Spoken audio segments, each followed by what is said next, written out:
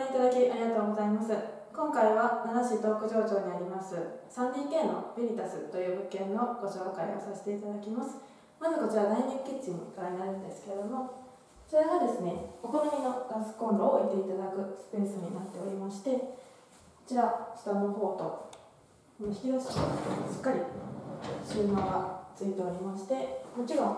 上の方にもたくさん収納がございます。でこういう水切り棚とかもあるのもすごく便利ですね。でダイニングキッチンの奥が、え、洗面スペースになっておりましてこちらが洗濯機置き場ですね。結構大きなものでも置いていただけるスペースになっております。でこちらがですねシャンプードレッサー付きの洗面台ですね。で奥がお風呂になってるんですけれども浴室に窓もついておりますので換気もしっかりできて湿気をね取ってもらいますね。でキッチンのこちらに給湯のスイッチがあります。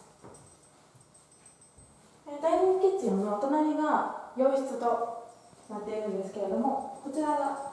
収納がついてまして結構2段に分かれているのでかなり大きなお荷物とかでも入れていただけますね。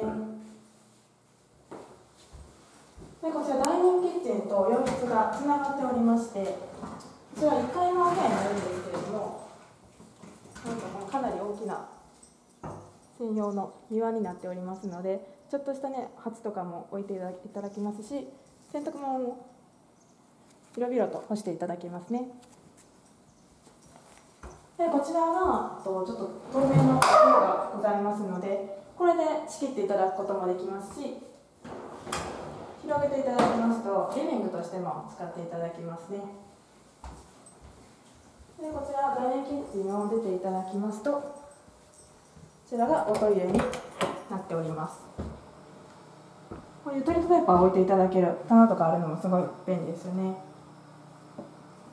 でこちらが、えーと、玄関スペースになるんですけれども結構こちらのスペースがあったりとかしてと下駄箱とかも置いていただけるかなり広々とした玄関になっております。でこちらがもう一つの洋室なんですけれどもこ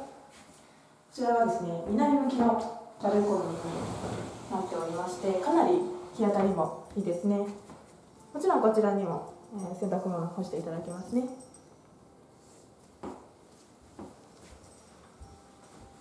で最後奥が、えー、6畳の和室となっておりましてもちろんこちらもバルコニーがついているんですけれどもこちらが押し入れついておりましてかなり上の方にもお荷物入れていただけるのでご家族のお布団とかもしっかり入れていただけますね。